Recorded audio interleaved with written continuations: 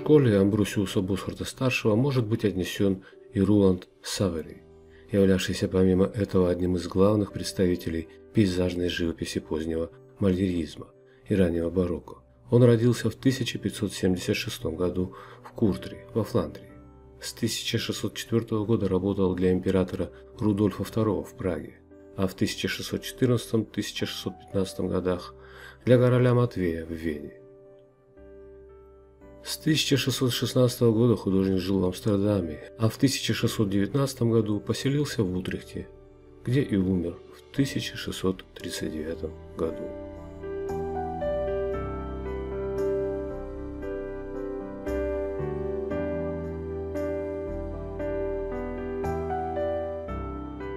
Сложение стиля ранних цветочных натюрмортов Саверия происходило еще в те годы, когда он служил при дворе Рудольфа II, исполняя заказы для императорской конскамеры на изображение ботанических и зоологических курьезов.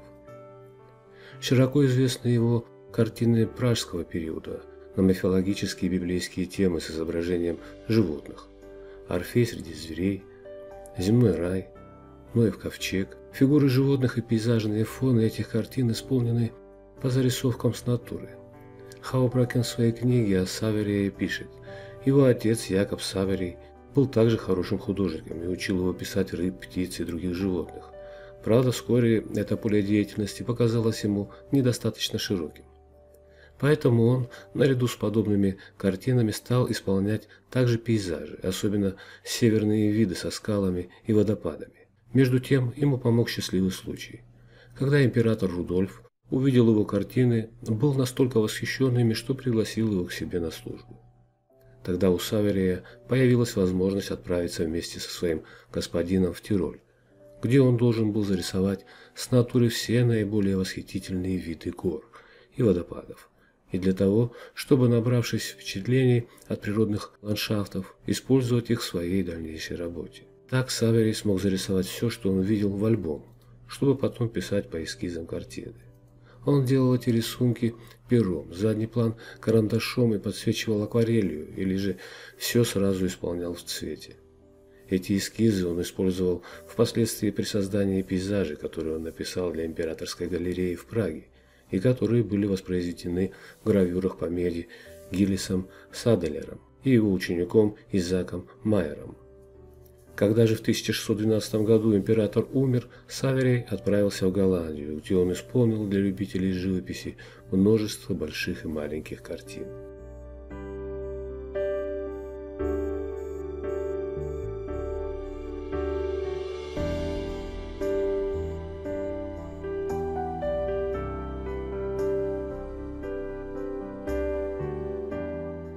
Помимо отца, учителем Саверия был и его брат. Жак Савери, о чем пишет историк голландского искусства Карелон Мандер, указывая, что и по манере, и по искусству Руланд Савери очень напоминал своего учителя. Свои натюрморты с букетами цветов Руланд Савери начал писать, вероятно, под влиянием Жака. Как можно судить по инвентарной описи собрания Яна Аренца ван Нардена, составленной в 1637 году, Картины Жака с подобной тематикой втрое превышали по цене аналогичные произведения даже такого известного мастера, как Амбросиус Босхарт-младший. Большинство дошедших до наших дней цветочных натюрмортов Руланта Саверия написаны по одной и той же композиционной схеме цветочного букета в нише, разработанной Амбросиусом Босхартом-старшим.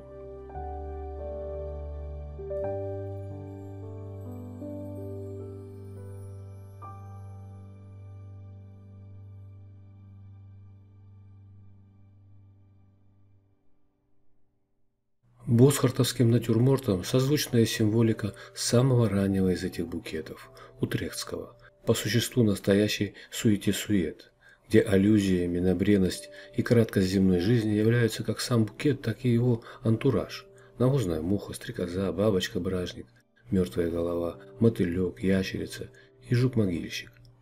Причем утрехтская картина отнюдь не хитроумный ребус, а образное отражение щедрой роскоши природы – где равноценными по значимости выступают и насекомые, и ящерицы, и каждый цветок в букете.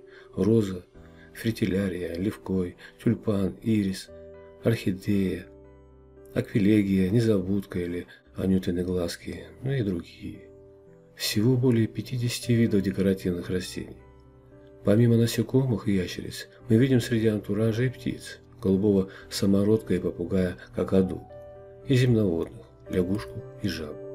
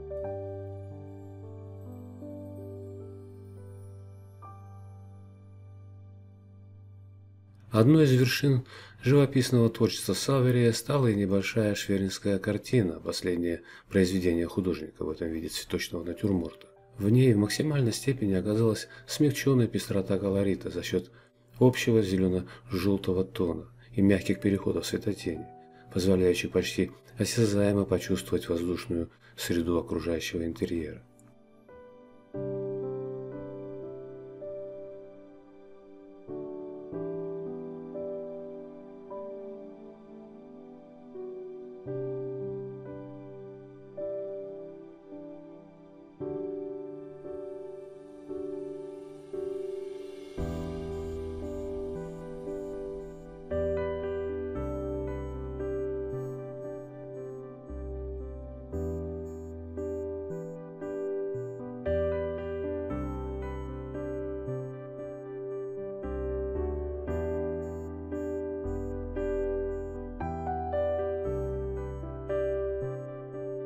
Сопоставление поздней утрехтской и шверинской картин с ранними произведениями Руланта Саверия показывает, что букет в его картинах стал со временем заметно объемнее и по силуэту более удлиненным.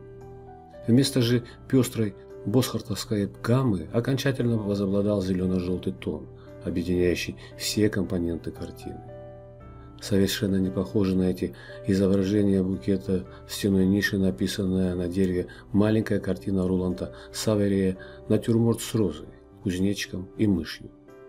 Кажущееся внешне случайным расположение составляющих натюрмортную группу элементов умело подчинено здесь контрастному световому решению и композиционному построению, выделяющих основной мотив – цветок розы.